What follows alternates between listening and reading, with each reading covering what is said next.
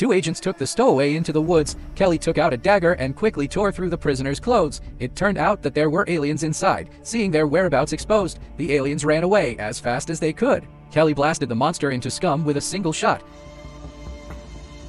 Then, the police who heard the movement gathered around one after another, and the organization also received the news and came to clean up the scene. Kelly took out the amnestic pen, and then there was a flash of light, and the memories of several people were completely erased. Kelly and his partner Clyde are the men in black. There are about 1,500 aliens on Earth, most of whom abide by the rules and coexist with humans on Earth. Another part came to the Earth to make trouble, and the men in black were responsible for dealing with them. But what worries Kelly is that Clyde is getting older and can no longer continue to be competent for this job. Clyde blamed herself deeply. So Kelly decided to take out the memory pen and let Clyde retire with honor. On the other side, Special Police Officer Lyle is arresting fugitives, but this fugitive is not bad. I saw the fugitive jumped and jumped off the 10 meter high bridge. Lyle couldn't believe it, and the fugitive was finally caught by Lyle. The fugitive took out a strange weapon. Lyle reached out and smashed the weapon, and the fugitive took the opportunity to escape. Lyle was looking for the fugitive with a gun. The fugitive flew upstairs, and then the fugitive crawled like a gecko, saw the question mark on Lyle's face, but he had to be caught anyway. Lyle climbed up to the top floor of the 200 story building, and the fugitive seemed to be unable to escape. After leaving two absurd words, Coming. Your world's gonna end. The fugitive committed suicide by falling from a building. At night, a UFO suddenly fell from the sky on a farm, and the farm owner Reagan went to check the situation. The monster reached out and ate it, transforming into Reagan. Lyle just touched the ears of the dead body. The face suddenly opened the mechanism, and an alien appeared inside. The alien tells Lyle that to avoid galactic war, there is one important thing that must be found.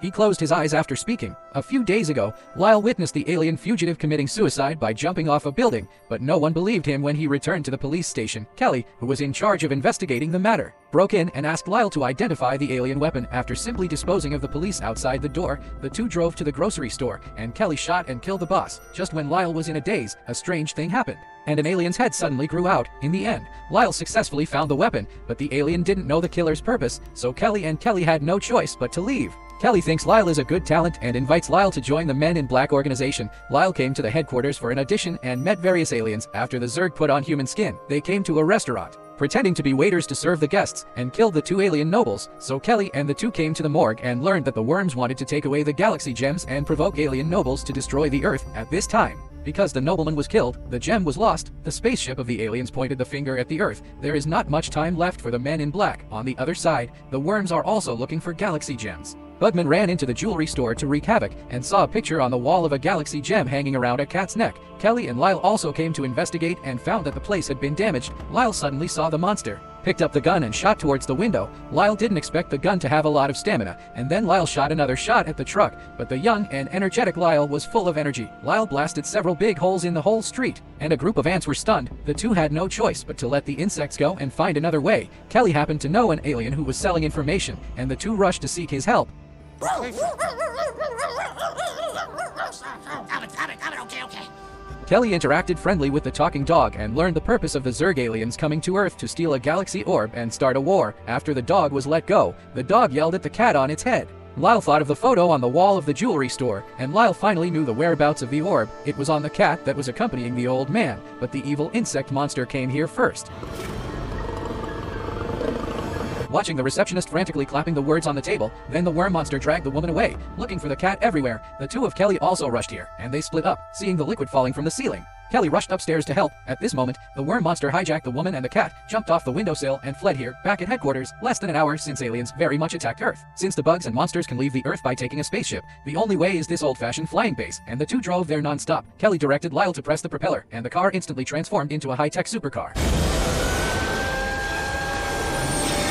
Let Lyle have a good experience of speed and passion. At this time, the bug monster was already driving the spaceship and preparing to escape. The two took out super weapons and aimed at the spacecraft, and two anti-aircraft guns directly shot down the spacecraft.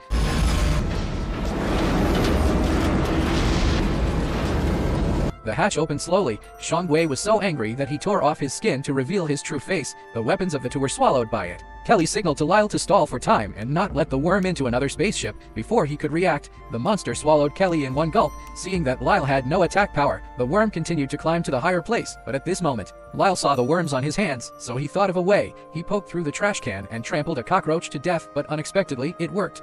I'm sorry. Is that your auntie? Oh, then that must mean that that's your uncle then, huh? You know y'all look alike.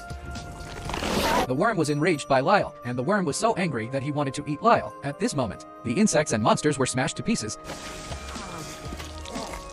and the two successfully got the galaxy. The crisis of the Earth being destroyed is lifted. At the end of the story, Kelly took out the amnestic pen and asked Lyle to erase his memory.